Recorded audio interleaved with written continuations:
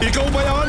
Ang nanggugulo sa Israel? Ah, ah, ah, dito muna ako sa likod para makapagtago. Ay, hindi pala. Para maprotektahan kayo. Hindi ako nanggugulo sa Israel, kundi kayo at ang angkan ng iyong ama.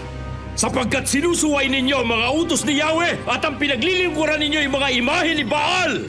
Ngayon tipunin ninyo ang buong Israel at ang apat na ran at limampung propeta ni Baal at apat na ran propeta ni Asera na pinakakain ni Jezebel at magtutuos kami sa bundok ng Carmelo.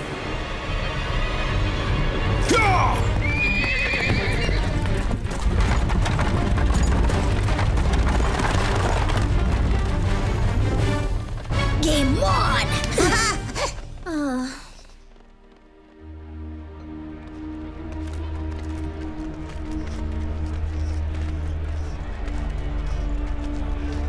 Ngayon lang ako nakakita ng ganito karaming tao.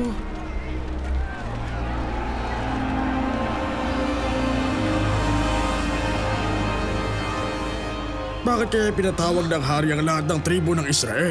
Ang propetang si Elias daw ang nagpatawag sa atin. Si Elias? Nagtatago siya. Ilang taon nang walang balita sa kanya.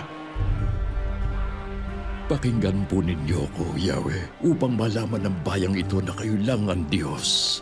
At nais ninyo silang magbalik loob sa inyo. Tumabi kayo! Magsitabi kayo! Magsitabi kayo!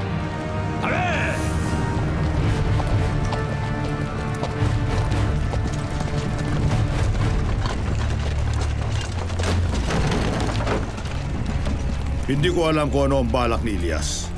Ngunit alam kung tatanggapin niyo ang kanyang hamon. Aming hari, hindi kami takot kay Elias o sa kanyang Diyos.